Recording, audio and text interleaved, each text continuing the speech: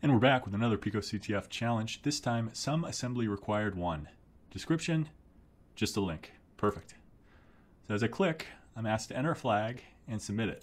So let's enter please subscribe and submit it. Incorrect. So let's inspect the page.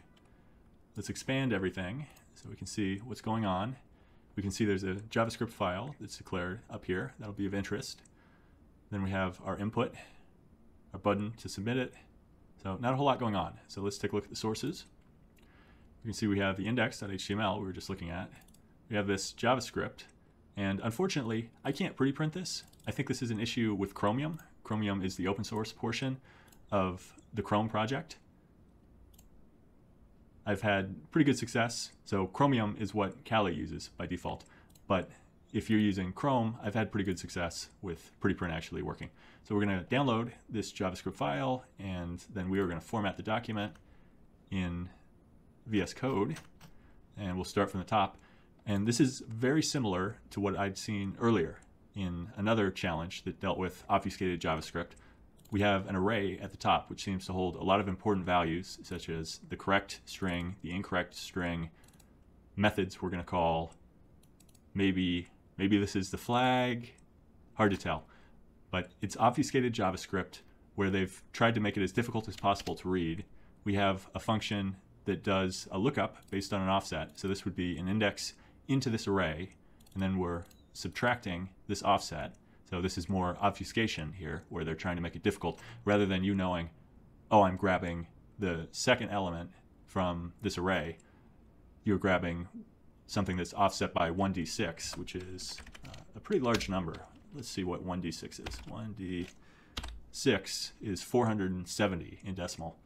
So something that's been offset quite a bit and is difficult to figure out. I'm going to breeze through the obfuscation just because I have another video that covers how to deal with obfuscation and where I really break down my, uh, my tactics for dealing with this. Instead, I'm just kind of looking at a high level at what's going on and one thing immediately stands out to me, which is we're awaiting WebAssembly, which means we're fetching something from some address that's defined here based off of an array lookup. And since the challenge name is some assembly required, I think it's a good bet that assembly is what we want to look at. And if we look over here in our sources, we have a WASM file, which is WebAssembly. So let's open this guy up.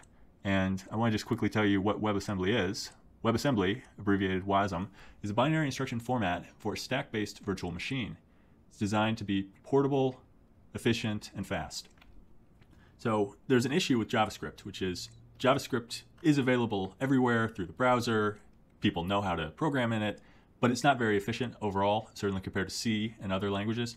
So what they were looking for was a replacement to give highly efficient and portable code.